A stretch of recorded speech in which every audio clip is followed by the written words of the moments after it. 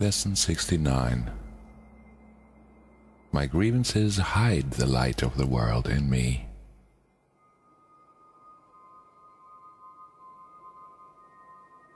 No one can look upon what your grievances conceal. Because your grievances are hiding the light of the world in you, everyone stands in darkness and you beside him. But as the veil of your grievances is lifted, you are released with him. Share your salvation now with him who stood beside you when you were in hell. He is your brother in the light of the world which saves you both. Today, let us make another real attempt to reach the light in you. Before we undertake this in our more extended practice period, let us devote several minutes in thinking about what we will be trying to do. We are literally attempting to get in touch with the salvation of the world. We are trying to see past the veil of darkness that keeps it concealed. We are trying to let the veil be lifted and to see the tears of God's Son disappear in the sunlight. Let us begin our longer practice period today with a full realization that this is so and with real determination to reach what is dearer to us than all else. Salvation is our only need. There is no other purpose here and no other function to fulfill. Learning salvation is our only goal. Let us end the ancient search today by finding the light in us and holding it up for everyone who searches with us to look upon and rejoice.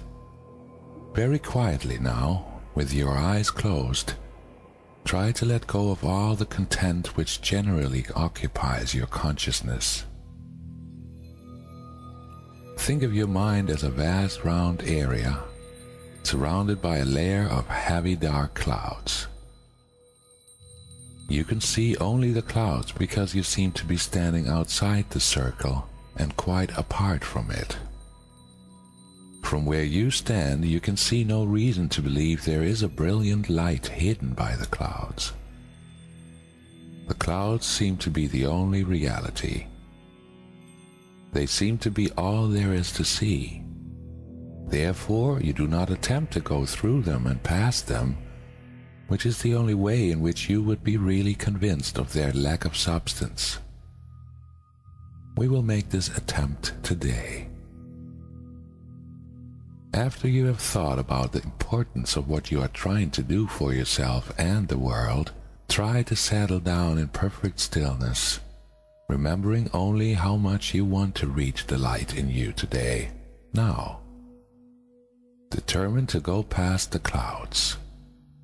Reach out and touch them in your mind. Brush them aside with your hand.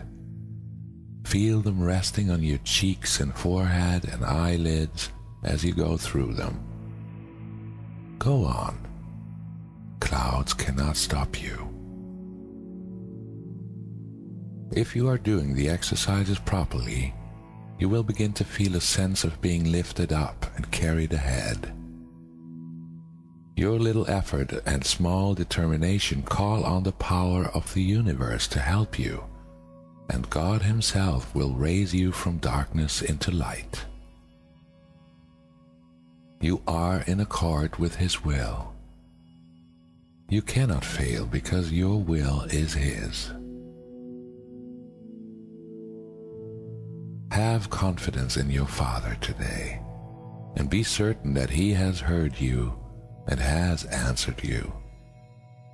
You may not recognize His answer yet, but you can indeed be sure that it is given you, and you will yet receive it. Try as you attempt to go through the clouds to the light to hold this confidence in your mind. Try to remember that you are at last joining your will to God's.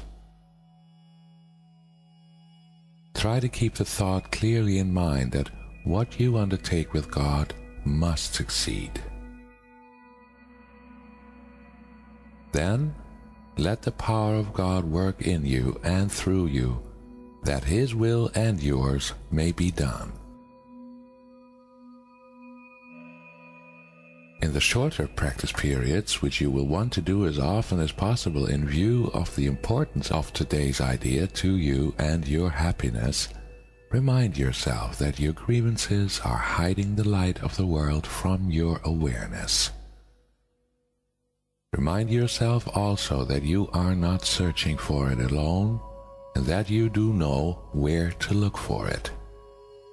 Say then, My grievances hide the light of the world in me. I cannot see what I have hidden, yet I want to let it be revealed to me for my salvation and the salvation of the world.